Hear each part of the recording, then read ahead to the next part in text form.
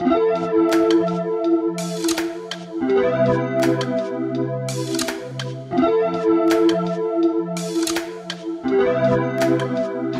it is early in the morning. Ten o'clock now. It was early in the morning, it's 10 o'clock now. We are on a little bit of a road trip to, how do you say it? Harwich. Harwich, Harwich. according to the Google lady. I've been calling it Harwich. We're going on a road trip to buy a car. Very excited about it. We've just stopped at services to get a tea. We're not too far away now, we're like 45 minutes. Hi Mitchell, Mitchell was here, obviously he's driving. I haven't actually seen this car that I've bought, but I tell you, I haven't actually seen it at all. Mitchell went and saw it and put the deposit down on it on, was it Thursday? It's Saturday today, It's Thursday. Thursday night. So yeah, I'm gonna do like a reaction to see my Dish! I'm gonna do a reaction to see my car for the first time, and yeah, I'm very excited. I feel like it's kind of a bit silly to buy a car that you haven't seen before, but I trust Mitchell obviously, and our friend Rupert went as well, and I trust him too.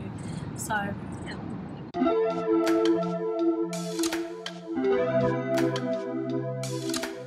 We're five minutes out.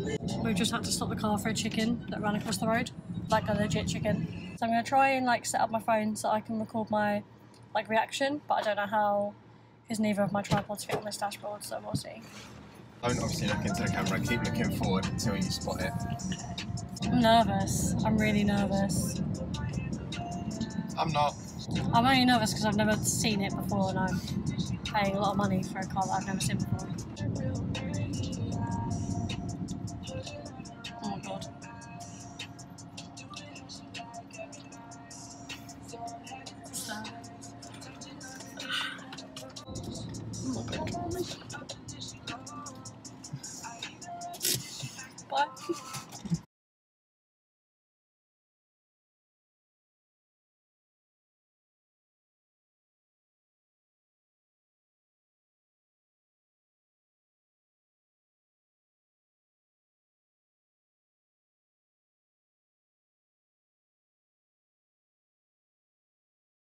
Hi.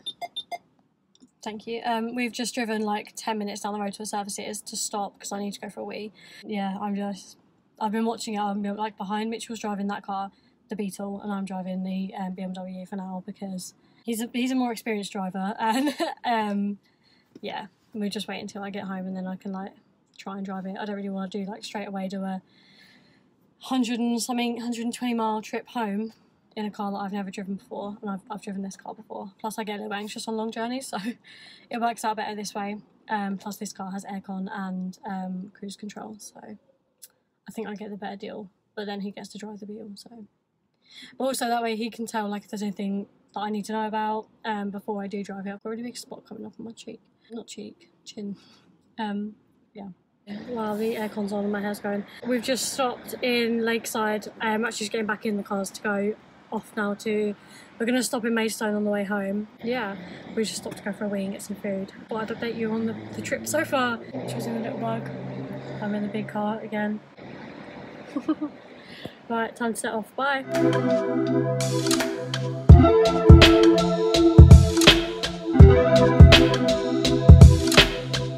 Hi, um, it's three weeks later. As per usual with any video that I film, we're doing the second half later on. Yeah, I thought I'd do a little car tour sort of thing, so I just didn't film um, the rest of the video on that day because after the clips of us on the motorway, literally the last ones you've just seen, there was a crash like just ahead of us and we had to pull over, like make sure the family was all fine. They were fine, they were absolutely fine. And then yeah, I just sort of had a little cry to myself and got myself a bit wound up. And then didn't want to film for the rest of the day. We then took the car to the beach and then drove it home and realised there's some issues with the lights, but I'll show you that in a moment when I go outside when my neighbours go indoors. And I need to drive to the supermarket, so I think I might take it to Tesco or something. Take it out again. I took it out this morning, went to a meet. Um, I didn't film anything there. Probably should have, but I didn't. Thought I'd do a little intro to a car tour. Hi, it's like months later. It's literally November and I started filming this in July. So I'm going to finally film the um, car tour bit now.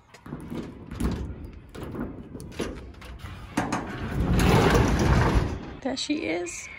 So there's like all this shit in the way. Uh, my bike, Mitchell's bike.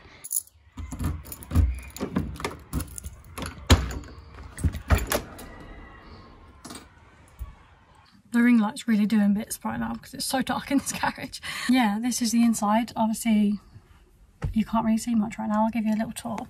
So here's the glove box. You just sort of twist to undo. There's a lot of spider webs in here that I, I'm only just seeing them now. I actually need to to take this cable out. There's nothing else in there except a spanner. That spanner literally goes on nearly every single bolt that I've tried to undo in this car so far. It's got a radio, it has got um, Bluetooth as well. Um, it's got like aux, Bluetooth, there's a bit for USB. So yeah, it does everything that you need it to do really. And it's like got like a vintage look to it. So it's meant to like, it's meant to like look part of the car. It kind of does to be fair. And then we've got I think our lights, uh, windscreen wipers, which you turn. That's as fast as they go. That's as low as they go on the windscreen. These bits are both like plugged up. I'm not sure what was going on here or what's meant to be there. This one's got like a bit where it did have something, but it doesn't anymore. These bits are just like twisties for the vents, but I don't think they actually do anything at the moment. I haven't noticed a difference when driving using them. Also this, I think this is meant to be for the windscreen washer fluid, but nothing happens. So yeah, there's a ashtray and then the hazard lights. Um, and then, yeah, the speedo. You'll see it goes all the way up to 90 miles an hour. This car does not go up to 90 miles an hour at all. Nowhere near, actually. It's like 60, 65 are really like downhill. It might get to 65. But yeah, she struggles and she's like loud. So um, over here's the horn. It's quite fun. it's got a an aftermarket steering wheel. I don't think this is anything special. And it's bolted on wonky. Like this is wheel straight. Um, yeah, it's not it's not on straight at all. but It's fine. It's one of those little things that you can fix. It does have the bamboo shelf and I've got a little crochet blanket here that my mum made and COVID. There's some other shit in here as well that I need to go. There's some cloths and some like glass cleaner. Um, it does have one of the little wire baskets as well. I don't know how well you can see that. You probably can't see it at all. Wind up windows, doesn't have electric windows because it's 50 years old. There's only one windscreen, the uh, like mirror, there isn't one on this side at all because yeah, it's a 50 year old car. These seats are actually different as well. These are Astra GTC seats. I think they're from Mark 1 Astra. Um, they're all right. I have to sit on a cushion to be able to see out of the car because they're quite low down. Um, and I'm small, I'm only five foot five, so I have to sit on a cushion. Mitchell's fine. Using them, he's absolutely fine. They are very comfy. It's just I'm too small for them. So like I'm sat on a cushion right now. Um, it does have a back bench. Um, I don't really think you can see it, but it does have one. It's a cloth one. And then there's like speakers and stuff on the back. That's pretty much it for the inside. Yeah, there isn't really much else on the inside. So show you the outside. We'll um, start up at the front. It doesn't have the indicators that usually sit up there. It's got these ones down the bottom instead. And obviously there's no bumper at the front. The number plate's really wonky. I'm sorry about that. It wasn't me. um, but yeah, this is the front. Um, obviously on the inside of here, there is no engine. Uh, the wires are such a mess as well. Me and my dad have been trying to like sort that out. Um, we're slowly rewiring stuff. It's got a new fuel tank in it and the little horn. Just about see the back of the um, stereo there and then everything else is pretty much old um, and needs looking at. So that's a project for probably next year when summer's back. Come around to the driver's side, the only wing mirror, which as you're driving does tilt, so you have to put your arm out the window and put it back up. There's like a bunch of shit in my garage, I'm sorry. I got my started up sticker from my So Retro. You really can't see shit, it's so dark. Yeah, you really can't see. So I've got pretty much all red brake lights. So this one's normal lights, this one's brake lights, and this does nothing. Um, I think this is also indicators. I think these flash. I'm not really sure, I can't remember. it's been a while.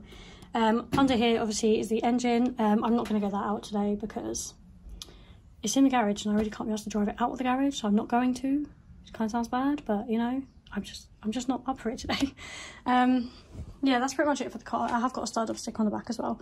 Um, these are both really off-centre and I didn't realise that this was off-centre. And then I put this one on and then after I put it on I realised that I've centred it with that and the centre's actually like over here somewhere. So if you look at it from an angle you can't tell. There's the speakers I was saying about earlier.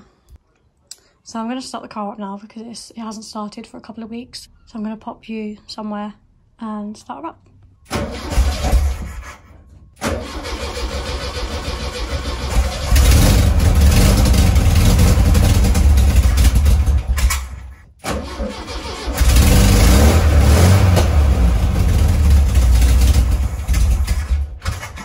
I should really like drive it around the block or something, but I don't have anyone to like spot me getting back into the garage and it's quite tight, so I'm not going to do that today. Maybe I'll do it at the weekend or something if Mitchell's off work. Yeah, I think this is going to be it for this video. Thanks for watching. I hope you enjoyed. If you want more Beetle content, please let me know. Let me know in the comments below. Um, yeah. I just realised I didn't tell you any like facts about the car, like the year and like engine size. It's a 1971, so it's 50 years old this year. I actually got the logbook through 50 years to the day that it was registered, which made me kind of like, oh, hi Mowgli, Mowgli's here. It's originally like forest green, like dark forest green. It's obviously been repainted to that, the colour that it is now, the bluey tealy colour, which I love, like really love. It does need some like work. As it is, it does need some rust treatment. There is some bits on the bottom, like underneath, that need like patching up, sealing up. I don't know. I don't know how welding works. I do want to change those seats as well. I was saying that I have to sit on a cushion to see out of them because they're quite low down. I either want to change them or try and get like rails that can lift the seat up so that it's not so low down to the ground because I literally can't see otherwise. What else? What else? So when I started it up, it didn't hold the idle. It does that sometimes when like you'll start up, rev it a little bit and it will stay idling and then when you start driving, when you come to a stop after you start start driving, like if you get to traffic lights and it's red light and you have to stop, it will cut out sometimes which is kind of annoying. So like I've I've managed to like teach myself how to like heel toe it a little bit and hold my foot on the brake, but also rev it a little bit the other side of my foot. but yeah, these are just like little quirks with the car. It's a 50 year old car, so it's gonna have like there's little bits, you know. The paintwork isn't like perfect or anything either. Um, it really does need like maybe respraying. I think if I get all the rust treatment done, there's some like surface bits that need sorting as well. So I think the plan is to get the bottom underneath rust sorted, um, try and hopefully get it sorted over winter so it's ready to drive again in spring. So after it's had the rust treatment done, I want to have the whole body rubbed down and resprayed. I know that's going to cost me a lot of money, but the outside of the car does have a lot of little like paint cracks and like where the paint has cracked, it's rusted slightly underneath. So to keep it, you know, safe, I'm thinking rub it down, paint it. I do want to keep the colour, I want to like get that colour again. So hopefully I can get someone who can like paint match it Um because I have no idea what colour that is or anything. Yeah, the car didn't really come with any like history or anything. The guy that I bought it from had like rebuilt the engine and got it back on the road because he bought it as a non-runner. But his wife didn't like it so he bought a bus instead and sold the Beetle to me. So that's going to be it for this video. I hope you enjoyed. If there's anything else you want to know, let me know in the comments and I can do like a follow-up video or just reply to you guys in the comments. If you liked it, please consider giving it a like and subscribing and I will see you soon. Bye. Bye from Mowgli.